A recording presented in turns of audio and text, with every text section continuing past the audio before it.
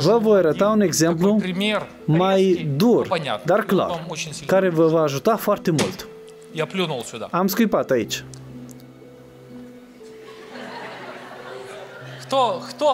Cine este gata să bea? Poate dorește acum cineva. Parcă nu prea este dorință. Este adevărat? Noi nu vrem să bem, dar Dumnezeu, bea tu.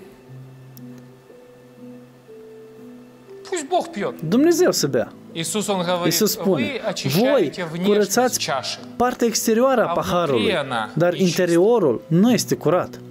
Мы все являемся Cu сосудами, toții suntem vase предназначенными для того, predestinate чтобы Bог ca жил. Dumnezeu să locuiască în noi. Если в этом Dacă în сосуде acest vas содержится нечистота Va fi necurăție или грех, sau păcat, мы очень верующие. noi suntem oameni foarte credincioși. Это не имеет Acest значения. lucru nu are importanță. Dumnezeule, bea! Însă, să știi, Dumnezeu refuză să bea. Dar cu un astfel de Paște în viața noastră, dacă am putea vedea pe plan duhovnicesc,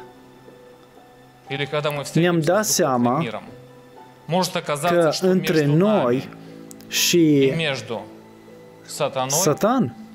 nu este sângele lui Hristos. Dar știi de ce? Pentru că ne putem trezi pe partea cealaltă, pe aceeași parte cu diavolul. Totul doar dintr-un singur motiv. Din acesta. Despre ce vorbea Isus? Exteriorul paharului. Ne îmbrăcăm frumos, arătăm bine, mulți oameni vin la biserică și arată frumos da, ce se întâmplă în interior. Îți voi spune un pic în avans ce se întâmplă în interior. Este un aspect care în ziua de azi este uitat, pierdut, ignorat. Nu vreau să fie așa și în viața noastră, în biserica noastră, în slujirea noastră, în viața voastră. Oriunde va merge acest cuvânt care se va răspândi să atingă pe fiecare, în numele lui Isus. Amin. Amin. Când veți sărbători Paștele, să nu aveți timp de șapte zile nimic dospit în casa voastră. De multe ori, oamenii se concentrează pe exterior, dar există și partea interioară. Isus vorbea foarte mult despre interior. Vă aduceți aminte cum le vorbea fariseilor, sunteți niște morminte văruite, iar pe interior sunteți morți și pute de la voi. Și Domnul arată spre ce este în interior. El a spus, veți sărbători din an în an și timp de șapte zile nu trebuie să aveți niciun fel de aluat dospit. Nu trebuie să fie nicio plămădeală în casa la voi. Trebuie să fie azime, simbolul curăției, simbolul sfințeniei закваска. Plămădeala este păcatul. Конечно, Cu siguranță, locuim într-o țară creștină și toți sărbătoresc surguincios празднуют Пасху, Paștele cu azime, без всякой закваски. fără nicio plămădeală. Хотя бы даже если Dacă tot nu sunt ориентироваться, не înțelese понимая lucruri этих duhovnicești, духовных вещей, хотя бы если Poate că ar fi ориентироваться bine să se orienteze на spre еврейский Paștele evreiesc. Ați înțeles ideea? Paștele evreiesc vorbește doar despre azime, nimic despre plămădeală. Dacă va exista în casă plămădeală, este scris, dacă se va găsi într-o casă, acea casă va fi nimicită din mijlocul poporului lui Dumnezeu. Îi va, îi va fi șters numele din mijlocul poporului lui Israel. Este o declarație serioasă. Versetele 15, 18, 19 descriu aceste lucruri. Poftim și Paștele. Este un aspect legat de interior. Dar ce este scris în 1 Corinteni, capitolul 5, versetele 6, 7 și 8? Până acum am vorbit de lucruri fizice, legat de plămădeală, lucrurile erau stricte. Mai departe, nu vă lăudați bine, nu știți că puțin a luat dospește toată plămădeala. Măturați aluatul cel vechi ca să fiți o plămădeală nouă, cum și sunteți, fără aluat, căci Hristos, Paștele nostru, a fost jertfit. Se vorbește din nou despre plămădeală. Только о какой закваске Dar уже идет? acum О este vorba de духовной. plămădeala Речь уже duhovnicească. идет о грехе. Deja Потому se что vorbește еврейская despre Пасха, păcate. Агнец, Pentru că пролитие Paștele крови, evreiesc, все события, которые mielul, закваски, vărsarea de это sânge, являлись toate evenimentele care s-au прообразом petrecut, пришествия plămădeala, Христа, sunt simboluri Paștii ale venirii lui Isus Amin. Hristos și ale Paștelui lui Hristos. Amin. Посему станем Versetul 8. праздновать не со Să старой prăznuim, dar, закваской, не с praznicul nu закваской cu un aluat порока и vechi, лукавства, nici cu un но с aluat de răutate și преснокой viclenie, чистоты ci cu azimile curăției și adevărului. Amin. Достаточно ясно Este и destul de понятно. clar. Станем праздновать. Să sărbătorim. И как это Și надо cum trebuie să отпраздновать? Только на sărbătorim? сегодня надо Trebuie, dar избавиться astăzi să scăpăm de от răutate. лукавства. Вам Христос вообще Cum как? aveți Надо nevoie de сегодня Hristos? Или навсегда? Doar pentru astăzi sau pentru totdeauna? Вы понимаете, да? Я со Христом, Sunt cu Hristos, но я сегодня dar только numai не грешу. astăzi nu păcătuiesc. Я сегодня только Numai от astăzi грехов m-am curățat de очистился, а всё păcate. остальное- Restul nu contează. Так вот я вам кое-что хочу Aici aș сказать. vrea să vă Что spun это ошибка. că este o greșeală. Христос и Hristos грех, și păcatul они несовместимы, nu потому sunt что дальше, compatibili. если мы Să будем citim în читать, continuare, în următorul capitol. De exemplu, capitolul 6, versetele 17 și 18 și să analizăm, ca să fie mai clar. Dar cine se lipește de Domnul este un singur Duh cu El. Fugiți de curvie. Orice alt păcat pe care îl face omul este un păcat săvârșit afară din trup, dar cine curvește păcătuiește împotriva trupului său. Amin. Păcatul ne separă de Dumnezeu. Vă voi arăta un exemplu mai dur, dar clar, care vă va ajuta foarte mult. Am scuipat aici.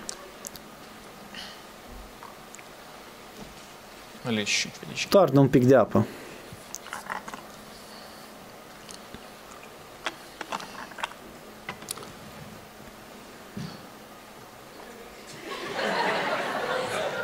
хто, хто готов... Чим стігати себе? А ну, Люша... Люда, сколько счету будут пить? До пати не ворбе. Миша, выпьешь? Миша, бей. Кто-то, может, сейчас хочет? Пати до речь таком чинева? Не, не хотите, а ну, ну Лена, плюнь, может, Лена, тебя вино щиту. Пати до а пати не ворбе. Артем, приготовьте тебе вебя пентру тоц. Проверим. Кто-то будет пить? Вебя чинева? Не, тогда, Nu. Артем, тебе надо Atunci, пить. Arteom, va trebui tu să bei. Знаете, не сильно хочется. nu prea este dorință. Правда, да? Este adevărat? Ну, нам не Noi хочется. nu vrem să bem, dar Бог, на ты пей. Dumnezeu, bea tu.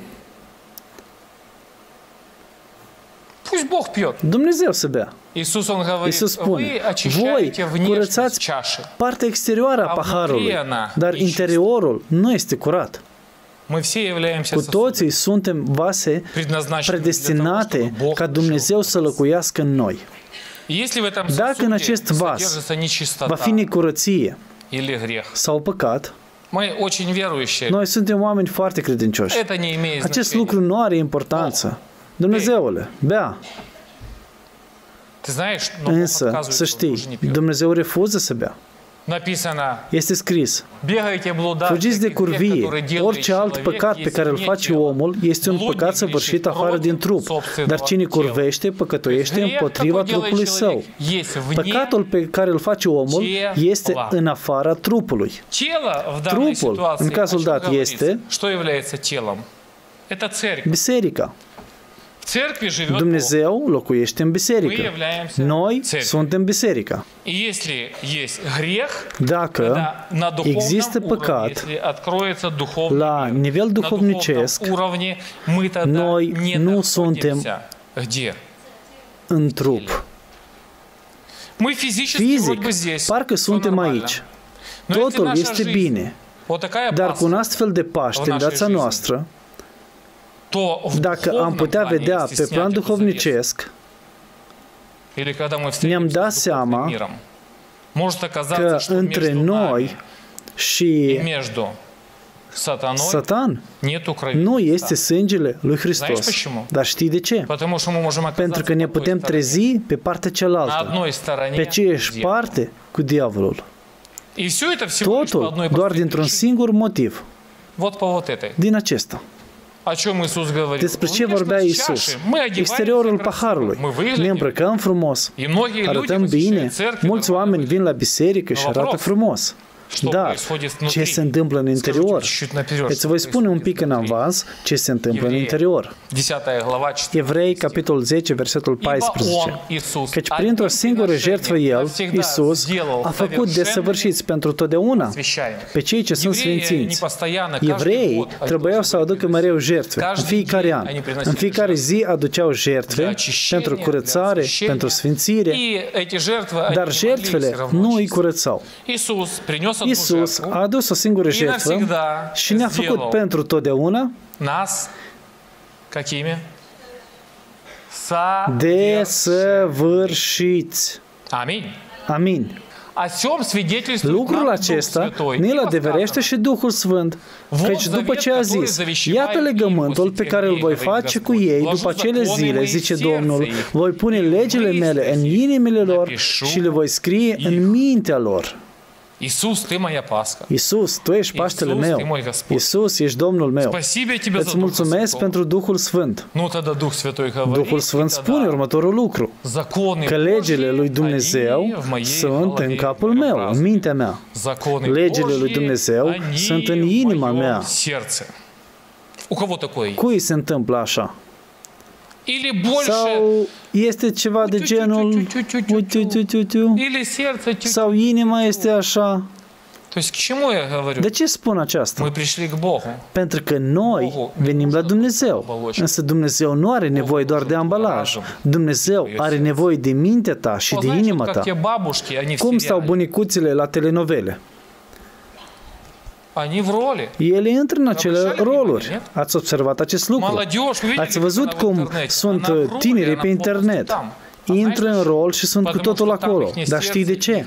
Pentru că acolo este inima și mintea lor. De ce nu suntem în totalitate dedicați în biserică? Pentru că suntem mici duhovnicește. O, pastore, de ce am capul plin de gânduri proaste? Inima mea este așa, rea. Pentru că ești mic. Abia te-ai născut duhovnicește. Poate chiar ai și murit. Însă Dumnezeu a rezolvat o singură dată această situație, ca noi să fim desăvârșiți. Când a venit Isus și a început să propovăduiască, sau când Dumnezeu s-a adresat poporului evreu, ce a spus? De exemplu, în Matei 5 cu 2, el a spus, fiți sfinți, fiți neprihăniți. Isus a venit și a propovăduit despre fericire. Fericii de cei blânzi, fericii de cei milostivi, și a enumerat toate poruncile fericirii. Iar la final, în Matei 5 cu 48 a spus, voi fiți, dar desăvârșiți, după cum și Tatăl vostru, cel ceresc, este desăvârșit. Amin. Este sau nu reală desăvârșirea? Este reală. Dumnezeu a făcut totul pentru asta.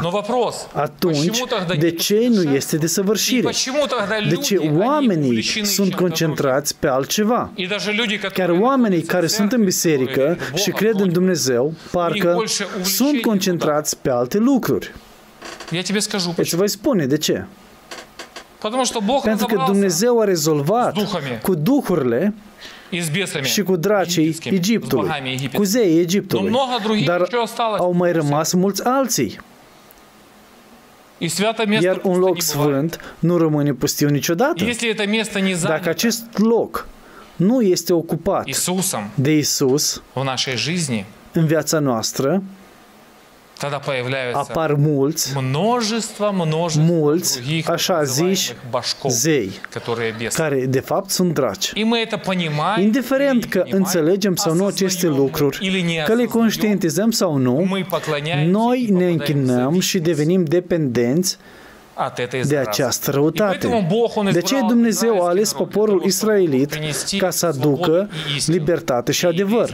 Dar poporul evreu nu și-a îndeplinit misiunea până la capăt. Așa că Dumnezeu a chemat și a ridicat biserica. A născut biserica, a creat-o și a trimis-o să ducă această lumină. Să fie sare și lumină până la marginile pământului. Amin. Isus. Isus. Спасибо, что ты нашел. Îți mulțumim că ne-ai găsit. Спасибо, что ты открыл Mulțumim наши уши, că ne-ai deschis urechile, наш разум, mințile наше сердце. și inimile. И мы просим Тебя, Te Господи, rugăm дай нам să ne dai понимание, pricepere, дай нам твердость, stabilitate, дай нам откровение, revelații, чтобы нам ca să в Твой храм venim în templul tău, în biserică, приходить, cu inimile noastre și cu mințile noastre, чтобы наш ca să разум, putem pune наше сердце pe altar мы могли ложить inima și mintea noastră для pentru служения o slujire благоугодного plăcută Тебе, ție. Господи. Во имя în Иисуса. numele lui Isus. Отец, Tată, дай нам ajută-ne să усовершить ne desăvârșim în dragostea Твоей ta, любви. Чтобы мы să ne могли putem mișca двигаться в Твоей în совершенной dragostea ta любви desăvârșită и имели și să дерзновение avem îndrăzneală в последний ca în день ultima zi предстать să venim на суд, la judecată как дети ca Божьи. și copiii lui Во Dumnezeu имя Иисуса. în numele lui Isus Hristos. Отец,